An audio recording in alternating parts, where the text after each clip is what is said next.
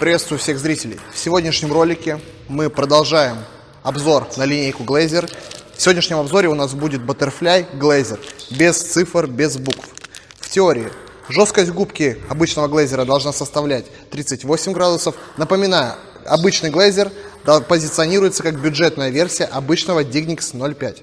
Напоминаю, что у обычного Dignix 0.5 жесткость губки составляет 40 градусов. Мы будем сравнивать обычный глейзер с глейзером 0.9 на основании Вискария. Специально оставил обрезок от глейзера 0.9C, чтобы посмотреть по жесткости, посмотреть по эластичности и по упругости, сравнить две эти накладки, чтобы они были наклеены не на основании, чтобы при набивании, а именно прямо на ощупь. У линейки Tenergy жесткость губки составляет 36 градусов, у глейзера 38 градусов. Есть подозрение, учитывая тот фактор, что глейзер обычный стоит даже дешевле, чем Tenergy, возможно, у любителей линейку Tenergy это может чуть подубить, поскольку если по характеристикам это будет не похоже на Dignix 05, которым очень сложно, по моему мнению, играть, и нужно некий навык, некая тренированность, чтобы играть Dignix 09.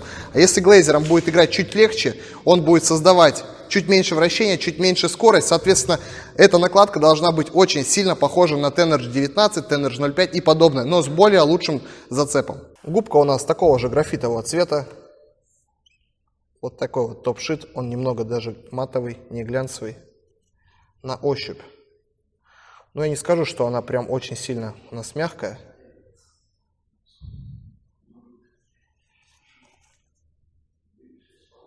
На ощупь я бы не сказал, что глейзер 0.9 жестче, чем глейзер обычный.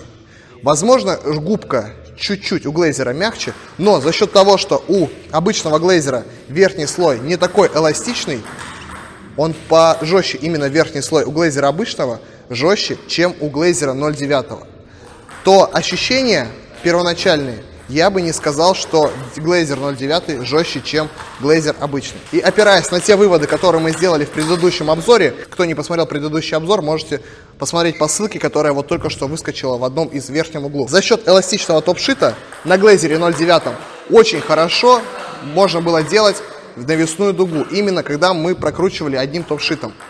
Здесь учитывая тот фактор, что топ-шит у нас жестче, скорее всего, дугу можно будет вырисовывать не за счет топ-шита, а за счет губки. То есть нужно будет прям прорабатывать через губку, тогда она будет хорошо играть. Поэтому разница этих двух накладок в первую очередь будет за счет исполнения той самой дуги. То есть на глейзере можно будет сделать дугу за счет того, что мы погружать мячик будем в губку. На глейзере 0.9 дугу высокую мы делаем за счет тупшита. Накладка на ракетке как я и предполагал, когда я только ее распечатал, что по ощущению, что топ-шит у глейзера обычного жестче, чем у глейзера 0.9. И за счет этого при обычном набивании создается ощущение, что вообще накладка сама по себе ощущается жестче, чем глейзер 09C. Вы, думаю, видите. Во-первых, по первому ощущению. Во-вторых, при плоской игре, при обычном набивании ощущается, что глейзер обычный, он будет побыстрее, он будет повеселее, чем Глейзер 09. Это, в принципе, не сюрприз, поскольку та же самая была разница между Dignix 09 и Dignix 05. Пока что у нас вот эта тенденция сохраняется. По зацепу видим, что мяч не сваливается, мяч четенько зацепляется, мяч вылетает. Все здесь отлично. Переходим к короткой игре. Короткая игра у этой накладки похуже, чем у Глейзера 0.9. И такой есть момент на этой вот накладке. Вот я сейчас вот на короткой игре ее сильно не продавливаю, и мячик очень плохо чувствуется. Возможно, это плохое ощущение как раз таки и связано с жестким топ-шитом, про который я говорил при распечатке. То есть жесткий топ-шит э, не сильно жесткая губка, и получается, что он как бы до доски как таковой сильно и не доходит, поэтому никакой информации в руку мне не идет. При накате справа чувствуется у накладки очень быстрая скорость, то есть мяч там не засиживается, он сразу же быстро вылетает. Дуга у этой накладки поменьше, чем у Глейзера 0.9, ну и она меньше, чем у тех же самых Tenergy. То есть она больше, я считаю, что подойдет вот прям для плоской, наверное, игры. То есть прям чуть-чуть поддавил, и мяч с очень хорошей скоростью вылетает. Но при накате, при плоском ударе он в накладке не засиживается.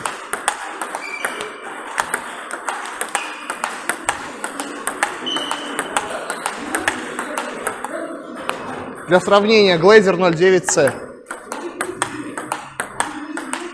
Думаю, даже на видео видно, как мяч чуть дольше засиживается в накладке, больше дуга и короче расстояние, куда летит. То есть от Глейзера 09 летит куда-то в эту точку, от обычного вот сюда. Поскольку у обычного Глейзера мяч быстрее он выплевывает туда. То есть из-за этого, возможно, мне в руку информация никакая не поступает. То есть он прям моментально оттуда бамс, бамс. К примеру, когда вот я играл, пробовал, играл Tenergy 19, Tenergy 05, те же самые. То есть там такого ощущения не было. То есть мяч даже при накате, даже при плоском ударе, он дольше сидит в, в, в накладке, дольше на ракетке сидит. И то есть дольше есть времени обработать именно мяч. Здесь такого времени нету. То есть это, по крайней мере, пока что на накате.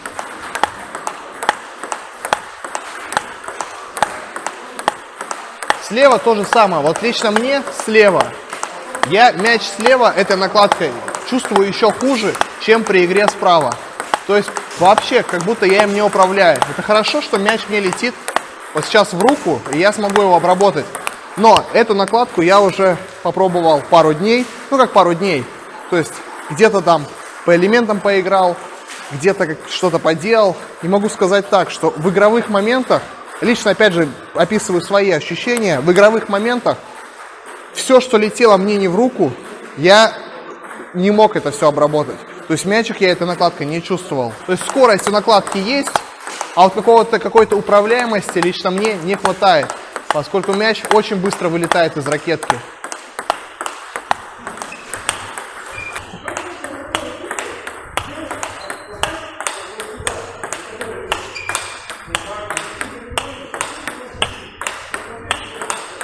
топ-спин справа.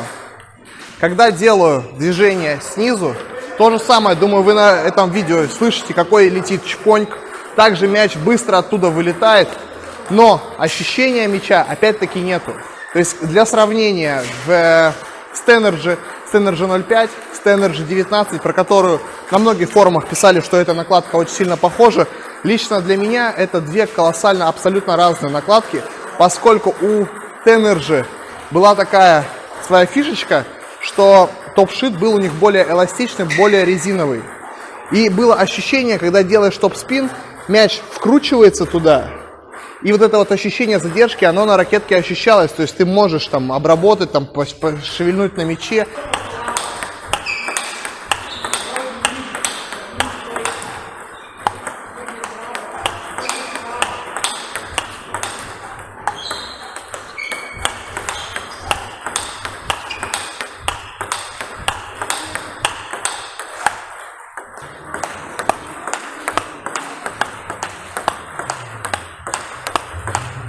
Так, ну слева, вот слева за счет очень хорошего зацепа, то есть зацеп у него приличный, даже вот когда я делал в самом начале ролика вот такие вот очень обычные манипуляции для проверки зацепа, то есть зацеп у нее солидный, и за счет одной кисти со своим движением у меня уже есть возможность его то есть вот так вот цеплять. То есть это здесь мне нравится. То есть эту накладку если смотреть вот по каким-то одним топ-спинам, и был бы выбор, куда бы я поставил бы обычный глейзер, направо или налево, то обычный глейзер пока что я поставил бы налево. То есть при кистевом топ-спине, то есть мяч за счет зацепа, слева более-менее еще как-то чувствуется, но справа ощущения были прям нулевые. Так поделали мы самые базовые, самые простые Упражнения, элементы, короткая игра. На короткой игре мне эта накладка не понравилась. Не понравилась почему? Не понравилась прежде всего из-за того, что на в слабых пробитиях я очень плохо чувствую мяч этой накладкой. Соответственно, если вот в ситуациях, когда мы сейчас играем, то есть когда мне летит, и я знаю, как играю, то есть мячик у нас никуда не завышается, но если будет эта игровая ситуация, то при каких-то неловких движениях, где-то, если я буду не успевать, чуть сильнее буду ударять мяч, мяч бесконтрольно будет улетать. Бесконтрольно все потому, что я его не чувствую, чтобы как его управлять. На накате справа, на накате слева та же самая тенденция, то есть при слабых пробитиях мяч также очень слабо чувствуется. Была ситуация, когда я дал эту ракетку одному из любителей, и поиграв он буквально минут, минуты 3-5, он сказал, Илья, такое ощущение, что мяч куда-то летит в пустоту. То есть мяч практически не чувствуется. Вот у меня вот этой накладкой то же самое ощущение. От чего это ощущение? Я считаю, что прежде всего из-за того, что а, получилось так, что у нас верхний слой очень жесткий, ну как бы не сильно жесткий, но не эластичный получается. А губка у нас мягковатая. И получается такая ситуация, что при слабых ударах у нас мяч из-за жесткого топшита не доходит до основания, либо даже если и доходит, то он как туда, как в подушку, и информации никакую в руку, никакой вибрации у нас не идет. То есть я связываю это с этим. На топ-спине справа, на топ-спине слева это накладка. Если дают в руку, все летит солидно, все летит хорошо. Вы на видео слышите, какой чпоник солидный. Дуга вроде бы есть. Мяч вылетает справа очень-очень быстро, поэтому справа времени на обработку лично у меня не хватает. Слева, слева мне эта накладка понравилась больше. Верхний слой относительно зацепистый, то есть при коротком движении мяч никуда не упадает. И при игре слева, когда я играю вот таким углом, чуть-чуть я мяч начинаю чувствовать. То есть справа больше, когда в мяч, мяч практически я не чувствую, но хотя есть чпонь, а слева мяч чувствую чуть лучше эта накладка, чем справа.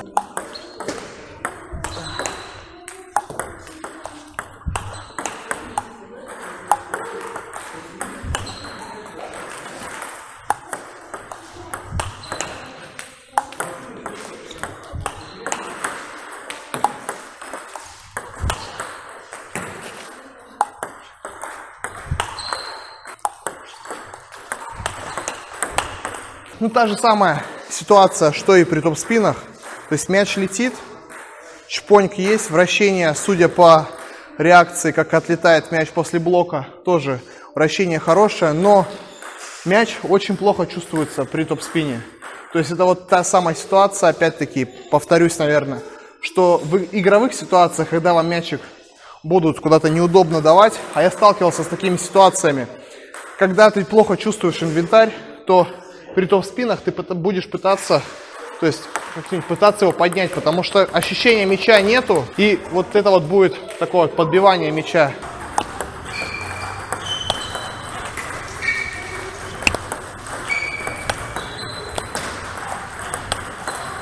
Но вот слева поинтереснее.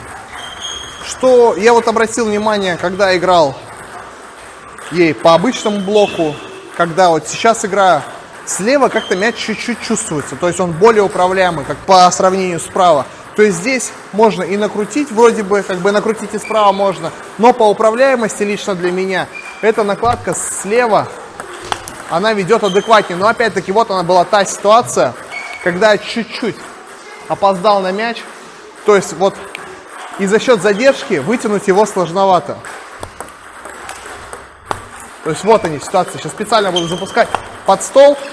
И вот задержки на этой накладке не хватает. Ой, вот это было... То есть нужно прям чуть ли не оттуда вместе с ногами вот так его вытягивать, поскольку, поскольку задержку не сильно дает эта накладка.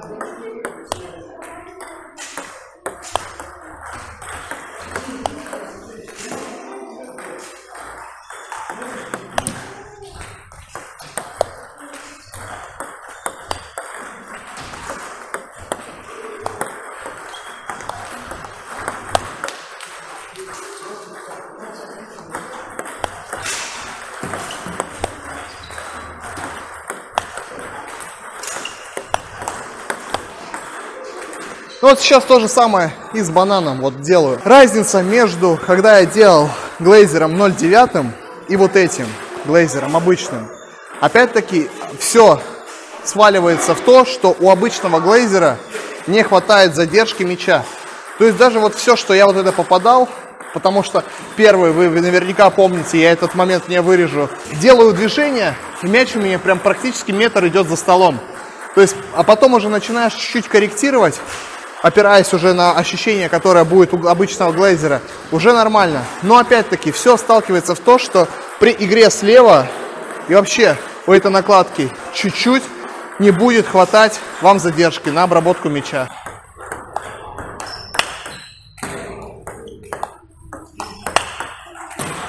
Вот, ситуация опять. То есть, сейчас все, что я скручивал, то есть этой накладкой нужно будет вам не как вы привыкли, ну опять же, это зависит от техники, то есть этой накладкой контур топ-спин слева, справа нужно будет вам делать не за счет, то есть своего вращения создавать, то есть вы мяч поймали на ракетку, сделали, а больше именно давить мяч, то есть больше через плоское движение. Поскольку если вы будете пытаться сыграть через прокручивание, прокрутить будет нет, не будет возможности, и мяч будет постоянно у вас улетать, сваливаться. В общем, вы не будете управлять мячом. Вот та ситуация. Чуть запустил, и сразу нету времени, чтобы его обработать. Нет. То есть вот как-то, в общем, тяжело, тяжело. Лично мне тяжело.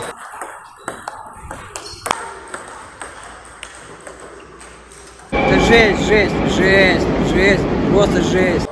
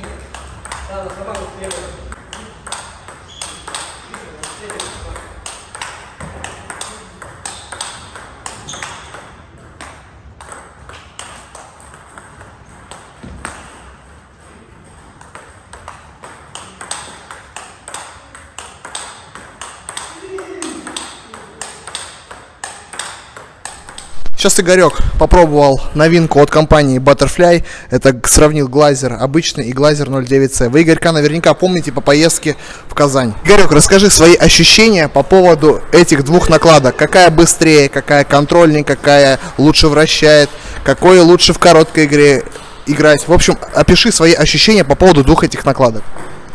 Ну вот глазер э, выстреливает, когда делаешь топ-спин. То есть им попроще играть в атаке. В промежутке маленько чувствика не хватает, чтобы сыграть в промежуточной игре, какую-то сделать скидку. Так. А по поводу Глазера 09C, ну им надо добавлять больше движения, то есть он мяч как затягивает. Выстрела нету. Как ты считаешь, обычный глейзер может создать конкуренцию линейке Tenergy? Ну, в принципе, да. В чем основная для тебя была разница между Глейзером и Tenergy 05 FX, который ты играл? Ну и наверняка ты пробовал обычную Tenergy 05. Ну вот примерно схоже, наверное, с 0,5. То есть FX он помягче, мячик остается в ракетке, ты его прокручиваешь, а здесь как бы идет сразу выстрел. То есть играть проще движением. То есть добавлять меньше надо, сил меньше тратить. Но с 0.5 FX там надо больше добавлять, допустим, движением. И сил больше вкладывать. Какую сторону из этих ты поставил бы себе направо, какую бы налево? Ну, вот глейзер бы обычный поставил направо, чтобы усиливать. А слева бы такую тягучую. Подводим итог по поводу Butterfly Glazer. Скажу общее ощущение по поводу этой накладки. Общее ощущение сложились у меня следующие, что эта накладка практически лично для меня ничем не отличается от типичной европейской накладки. То есть, если у всех накладок Butterfly были какие-то изюминки, даже у Глейзера 09 лично, по моему ощущению, была какая-то изюминка, и она на самом деле, по моему мнению, была похожа на Dignex 09, то есть вот этот, этот угол вылета. То есть, да, мощности не хватает, да, где-то какой-то агрессии не хватает, но если игрок не высокого уровня, если у него не сильно развиты физические, технические, все вот эти вот моменты, то Glayzer 09 ему подойдет то обычный Glayzer практически, как по мне, вот если даже внешне смотреть, то top sheet у нее очень сильно похож на top sheet, который был у Xiom Vega. То есть вот этот момент мне тоже очень сильно здесь не понравился. То есть по ощущению игры я бы тоже сказал, что на Butterfly Tenergy, про как многие пишут, что она похожа на Tenergy 19, там на Tenergy 05, то есть на Dignix вообще она не похожа. Эти накладки она тоже не похожа, поскольку у Butterfly Tenergy, у обычной линейки, которая 0.5, у 19, то есть там была и своя изюминка. Изюминка заключалась в чем? В том, что топ-шит был более-менее, он был мягче, во-первых. Во-вторых, губка была чуть-чуть другого материала. И когда делаете топ-спин линейкой Tenergy, то есть было ощущение, и вот было такое, было такое ощущение, что мяч у нас сначала входит в топ-шит, это на линейке Tenergy, потом входит в губку, и информация эта идет в руку, и мяч чувствовался. Здесь такого нету. И там вот это вот было ощущение, что даже когда вот мяч у нас накручивался на топ-шит, то есть время создавалось, и это создавало время задержку, чтобы обработать мяч. Здесь такого нету. То есть мяч здесь так не накручивается у нас на топ-шит. То есть э, информацию у нас никак не передается в руку.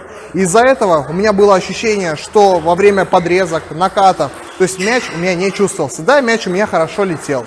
Да, мяч у меня с солидной скоростью, с солидной дугой. То есть все летело хорошо, но мяч я не чувствовал. То есть эти все моменты лично у меня будут сказываться на качестве игры. То есть когда мне мяч будет лететь удобно, когда я буду расслаблен, да, я, возможно, все буду хорошо попадать. Но стоит какая-то напряженная будет у меня ситуация, во-первых. Во-вторых, какой-то неудобный мяч. И вот этого как раз-таки момента, чтобы я мяч обработал именно на ракетке, мне будет здесь не хватать. Уверен, что этот обзор был для тебя полезен. Не забывай подписываться на соцсети, телеграм-канал, ВКонтакте. Ссылочки я все оставил в описании. Пока.